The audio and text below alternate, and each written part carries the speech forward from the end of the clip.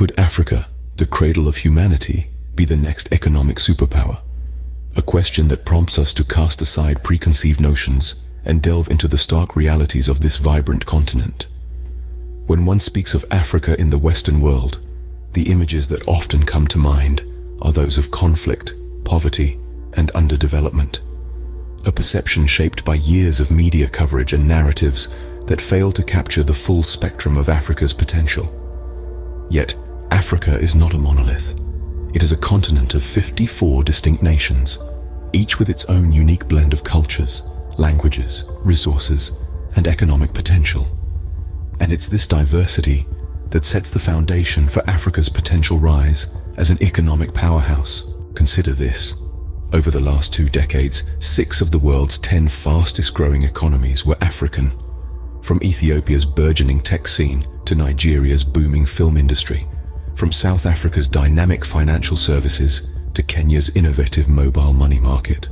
The evidence of Africa's economic prowess is hard to ignore.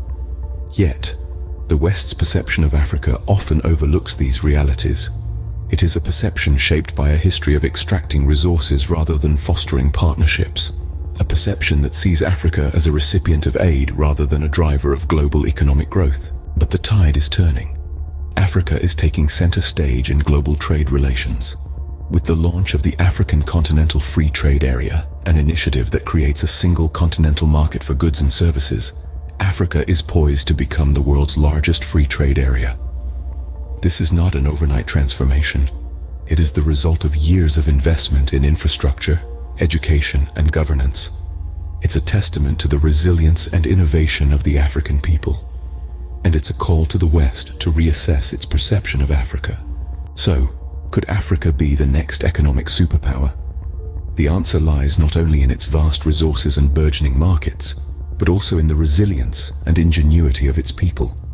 It lies in the ability of the West to see Africa not as a charity case, but as a partner, an innovator, and a leader in the global economy. In conclusion, Africa's potential as an economic superpower is not a far-fetched dream, but a tangible reality. A reality that challenges the West to change its perception and embrace Africa as an equal partner in global economic growth a reality that urges us all to see Africa in its full complexity and potential. Because the Africa of today is not the Africa of yesterday.